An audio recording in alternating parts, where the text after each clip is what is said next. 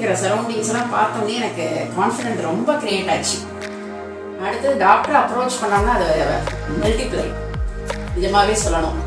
பயத்தோட எப்படி உள்ள வந்தேன் ஆனா இப்போ நான் ஆப்ரேஷன் ஆனதுக்கு அப்புறம் ரொம்ப கான்ஃபிடென்ட்டா இருக்கேன். என்னுடைய ரெண்டு நீயுமே ஆப்ரேஷன் பண்ணணும் சொன்னாங்க சொல்லிட்டாங்க. முதல்ல ஒரு நீ பண்ணிக்கலாம். ஒன் வீக் கழிச்சு இன்னொரு நீ பண்ணிக்கலாம்னு சொன்னாங்க. சரின்ட்டு.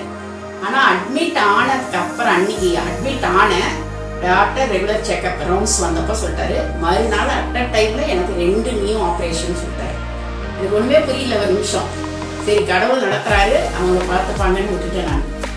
ஆனால் அந்த ஆப்ரேஷன் பண்ணதுக்கப்புறம் அந்த ஹாஸ்பிட்டல்ல ஒவ்வொரு ஈச் இந்த டே ஒன்லேருந்து அவ்வளோ அழகாக கேர் பண்ணாங்க என்ன?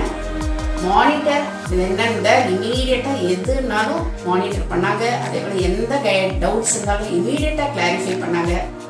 நர்சிங் ஆகட்டும் எவ்வளோ ஹை நீட் அண்ட் ஹைஜீனிக் இந்த ஒன் நோ டவுட் இந்த நர்ஸ் ஆகட்டும் ஃபிசியோதெரபிஸ்ட் ஆகட்டும் everybody guiding in proper way and motivating them in a positive way. That is the main thing for a human being.